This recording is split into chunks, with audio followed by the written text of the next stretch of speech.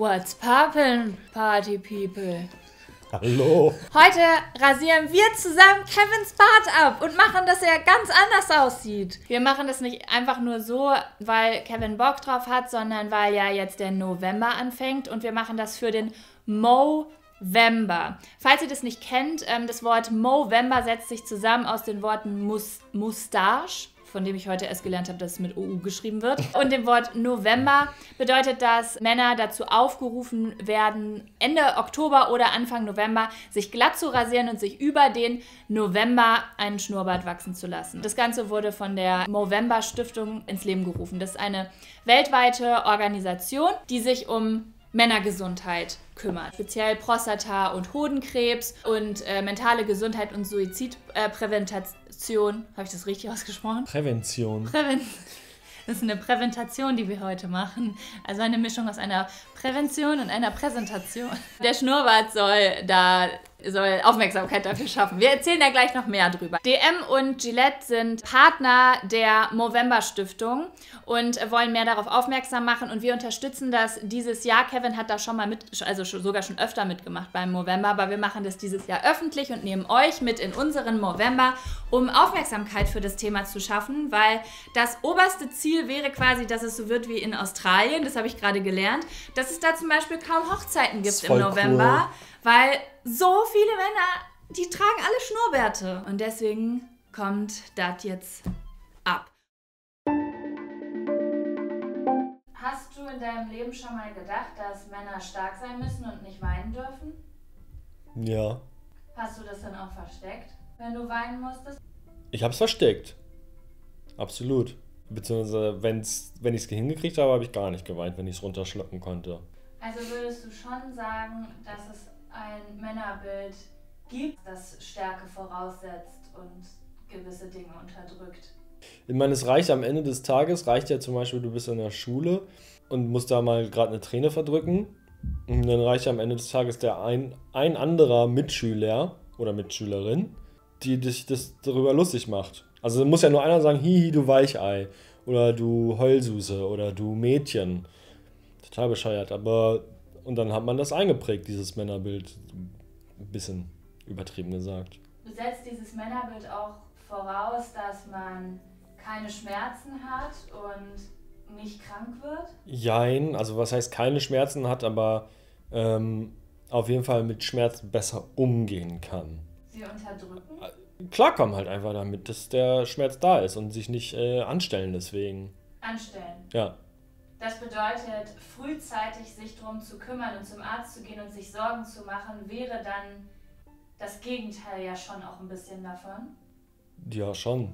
Ich komme noch auf den Schulhof zurück, weil es natürlich das prägende Alter da ist. Aber das sagt ja jetzt keiner auf dem Schulhof so, ha, du warst beim Arzt, du bist ein Weichei. Aber es ist schon so, oh, ich bin hingefallen und habe äh, das, mir das Knie aufgeschürft und ist halt, ja, beißt die Zähne zusammen, äh, Jungs weinen nicht und Indianer kennen keinen Schmerz. So. Und wenn man mit der Denke dann so denk, weitergeht, dann denkt man sich, ah, hu, ich habe mir äh, in meinem Finger bis auf den Knochen geschnitten, scheiß drauf, ich gehe jetzt nicht zum Arzt und lass mir das zusammennähen. Wie lächerlich pussyhaft ist das denn wegen so einem kleinen Schnitt? Obwohl es nötig gewesen wäre, eventuell. Würdest du vermuten, dass diese Prägung davon abhalten kann, zum Arzt zu gehen im späteren Leben? Ja. Warum ist deiner Meinung nach der Movember so wichtig? Weil alle Menschen, und das ist jetzt nicht die Schuld von irgendwem oder irgendwas, aber wenn wir jetzt mal an Brustkrebs denken bei Frauen, ist sogar den Männern bewusst, Frauen sollten sich regelmäßig die Brüste abtasten und nach Knoten suchen und regelmäßig zum Frauenarzt gehen und das einfach auf dem Schirm haben, weil es eine weit bekannte, weit verbreitete Krebsart bei Frauen ist. Wofür auch äh, Awareness geschaffen wird. Genau, wofür auch. Absolut. In der Werbung, in den Medien etc. pp. Prostata- und Hodenkrebs ist aber mindestens auf dem gleichen Level. Das ist aber nichts, wofür so an sich Awareness geschaffen wurde oder was ein Mann oder ein Mensch mit Prostata und Hoden äh, auf dem Schirm hat. Warum ist deiner Meinung nach der November so wichtig? Weil es Awareness schafft. Es ist ganz toll, dass wir aktuell so viel machen Richtung ähm, Feminismus, Frauen stark zu machen und irgendwie da Gleichberechtigung zu schaffen. Die eine Seite wird gerade schon ganz stark bearbeitet und ich habe das Gefühl, dass wir auf der anderen Seite auch ansetzen müssen. Wir machen Frauen stärker oder geben Frauen die Möglichkeit, stärker zu werden, aber Männern noch nicht so viele Möglichkeiten, schwächer sein zu können. Als ich mich angefangen habe, jetzt auch mit der Movember Stiftung auseinanderzusetzen, habe ich halt Zahlen gesehen, die mich echt emotional gemacht haben. Also man sagt ja immer so schön, Frauen werden älter als Männer und ich habe das nie hinterfragt. Das war so, so als hätten Frauen einfach eine bessere Genetik als Männer. Und dann habe ich erst erfahren, dass Männer im Schnitt sechs Jahre früher sterben als Frauen aus total vermeidbaren Gründen. Das fand ich irgendwie furchtbar oder ich wusste vorher auch nicht, dass Männer eine so krass hohe Suizidrate haben. Ich denke, dass wir für die allgemeine Menschheit es einfach gut ist, wenn wir dieses toxische Bild vom Mann, der stark sein muss, schwächen, weil das den Männern zugutekommt, aber auch den Frauen zugutekommt. Warum ist es dir denn persönlich wichtig? Ich weiß nicht, wie ich das sagen soll. Ich habe halt in bei mir zu Hause auch mitbekommen, wie es ist, wenn. Äh, oh, scheiße. ich habe ähm, mein ganzes Leben lang jemanden beobachtet, der nicht zum Arzt gegangen ist, weil. Und ich habe auch gespürt, dass ähm, mein Papa zum Beispiel Angst hatte, zum Arzt zu gehen. Äh, das hat er mir auch gesagt und hat aber vor anderen Leuten immer so, ach, getan, ach, das wird schon nix sein ich konnte da keinen Einfluss drauf nehmen, weil er einfach so war, wie er war. Und so sind viele Menschen, Väter. Aber wenn dieses Problem in der Wurzel einfach verändert wird und Männer sich nicht schwach fühlen oder als würden sie übertreiben, dann kann jemand, vielleicht können ganz viele Leute vielleicht einfach nicht mehr an Krankheiten sterben, die man früh erkennt. Äh, und warum ein Schnurrbart? Also wir wohnen ja hier in der Schnurrbartmetropole äh, Berlin. Egal, wo ich sonst eigentlich hinfahre, außer in so Trendbezirke, sind Schnurrbärte eher sehr besonders. Und man wird halt direkt drauf angesprochen. Du hast dann die Möglichkeit zu sagen, na, das habe ich für den November gemacht. Also entweder sie sagen, was ist der November und lernen erstmal, was das ist und bekommen das erste, also kommen das erste Mal damit in Berührung. Oder sie wissen, was das ist und dadurch werden wieder Männer bestärkt, wenn der mitmacht, vielleicht mache ich dann auch irgendwann mal mit. Eine Message, die sich so in die Welt trägt durch eine Auffälligkeit. Und gleich habe ich wieder ein Babyface, Alter. Hast du auch Puder? Du brauchst es gar nicht, weil du so einen matten Teint hast, rund deiner ausgeprägten Männergesundheit. Ich bin einfach nur ein matter Typ, so wie Matt Damon. Also, wir haben euch auf Instagram in einem Fragenfeld gefragt, auf was für Bartstyles ihr Bock habt. Und ich habe das jetzt nicht allzu ausführlich mit Kevin abgesprochen. Ich dachte, wir probieren das jetzt einfach mal aus. So. Das ist mein Saunahandtuch, ne? Volle Gleich werde ich wieder so ein kleines Kinn haben. Ich möchte, dass das Ganze einen professionellen Touch bekommt. Eine Kochschürze? Okay, als ob es jetzt einen Unterschied gibt zwischen Kochschürzen und, und Rasierschürzen. Legen Sie Ihren Kopf nach hinten. Bartstyle Nummer 1. Ich nenne ihn den Akzent. Wir machen jetzt erstmal etwas sehr, sehr Männliches. Ich würde sagen, das ist der Bart-Style toxische Männlichkeit, der jetzt kommt. Ich finde, du kannst das tragen. Ich sehe richtig aus wie so ein Gründungsvater in Amerika. Kevin Lincoln. Kann ich mir an mir vorstellen. Das ist so ein richtiger Bassisten-Bart-Style. Wie Lemmy Kilmister von Motorhead. Okay, kommen wir zu Bart-Style Nummer 2. Das sieht so schlimm aus.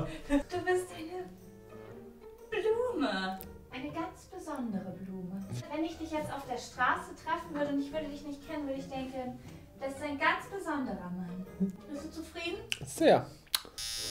Kommen wir zum nächsten Bartstyle und der ist ein bisschen inspiriert durch die 70er. War das nicht der letzte schon?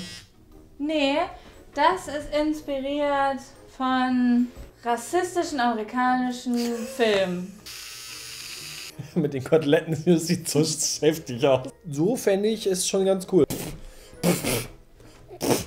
Aber ich erinnere mich auch irgendwie dann immer so ein bisschen an Christoph aus der Sendung mit der Maus. Ja, ich würde jetzt, ich weiß nicht, ob das okay für dich ist, ein bisschen die Koteletten bearbeiten. Weil die ja. sind eher noch Koteletts aktuell. So? Wir können jetzt auch deine Traumfrisur kreieren auf dem Weg dahin. Hallo, jetzt habe ich wieder drei Kinder. Ich würde sagen, wir entledigen uns jetzt ihrer Koteletten. So, Sie dürfen sich im Spiegel betrachten. Das ist der Stand, auf dem du Ende November wärst, wenn du einen schnellen Bartwuchs hättest. Gefällt dir? Sieht noch ein bisschen ungepflegt aus, aber so an sich ja. Ciao, Bella! Un pacco di Marlboro, per favore. Nein, nein, du stylst den völlig falsch. Das ist ein Pocket Mustache. Der ist wie ein großer Mustache, aber ein ganz klein. Und dann äh, stylt man den hier so hoch.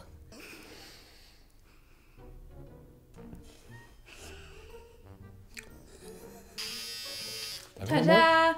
Nun bist du haarfrei. Nicht Gluten. Wie findest du dich? Komisch.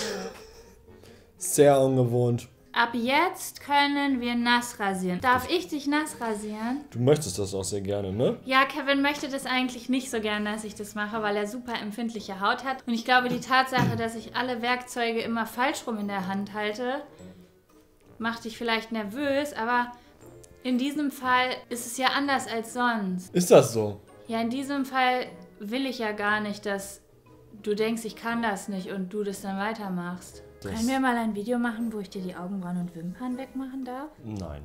Jetzt einmal richtig, also richtig fest mit den Händen so einfach. Ja. Wow. Das irritiert die Haut doch. Nein, dafür sind die Haare ja da.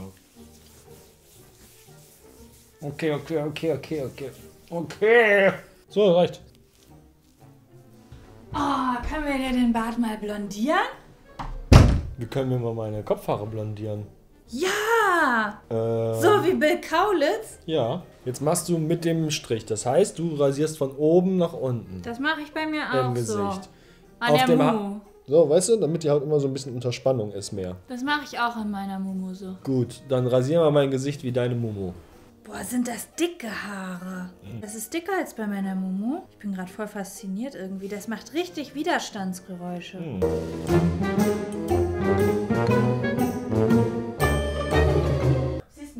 Wie dein Opa jetzt. Ah, cool. Eine Sache, die ich gelernt habe in dieser Zusammenarbeit auch, ich fand das super krass zu erfahren, dass der Hauptgrund, wieso Männer sich für den November, also für einen guten Zweck, keinen Schnurrbart wachsen lassen, Frauen sind. Die Meinung von Frauen über Schnurrbärte. Ich habe mich ein bisschen geschämt, als ich das gelesen habe, weil ich eben auch zu den Frauen gehöre, die Kevin eher davon abhalten wollen, sich einen Schnurrbart wachsen zu lassen. Deswegen wollte ich einmal dazu aufrufen, an ähm, vor allen Dingen auch die weibliche heterosexuelle Zuschauerschaft. Und nicht nur das eigentlich. Es geht ja auch nicht nur raus an Frauen, die Partner haben, sondern auch an Schwestern und Mütter und gute Freundinnen. Ermutigt die Männer in eurem Umfeld mitzumachen. Egal, ob ihr Schnurrbärte cool findet oder nicht. Es ist für eine gute Sache. Es geht um Leben und Tod. Es geht um Aufklärung. Es geht darum, unser Bewusstsein irgendwie zu stärken für was und Männern, Männer so ein bisschen auch äh, zu unterstützen, aus diesem äh, Männerbild einfach rauszukommen, aus diesem total veralteten, dass sie sich gut um ihre kleine Gesundheit kümmern. Es gibt eine Spendenaktion. Gillette spendet ab dem 28.10. bis zum 30.11. 1 Euro vom Verkauf aller November-Aktionspakete im, im DM und vom 1.11. bis zum 30.11. 50 Cent auf Alle Rasierer von Gillette.